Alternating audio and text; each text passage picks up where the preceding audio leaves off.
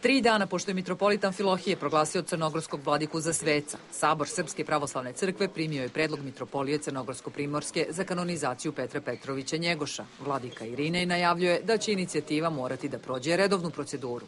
Sabor je po uobičajenoj proceduri koja se u svim takvim slučajevima poštuje, ustupio taj predmet na proučavanje odgovarajućoj stalnoj komisiji Sabora zadužene za pitanja kanonizacije. Tako da taj predmet će komisija razmatrati i potom naravno i Saboru podneti svoj predlog.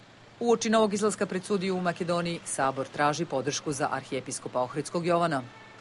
Jedini čovjek pod nebom koji je danas u Evropi duže u istražnom zatvoru od njega je Vojislav Šešelj u Hagu. Dakle, drže ga u tom zatvoru u veoma nečovečnim uslovima, e, nema odgovarajuću lekarsku negu, a zdravlje mu je ozbiljno narušeno. Zakazano je jedno od nebrojenih suđenja, ročišta i za sutrašnji dan. U danu kada se u javnosti pojavio još jedan kompromitujući snimak Vladike Kačavende, port parol Srpske pravoslavne crkve nije želeo da odgovara na pitanje novinara uz napomenu da će to učiniti na kraju zasedanja Sabora.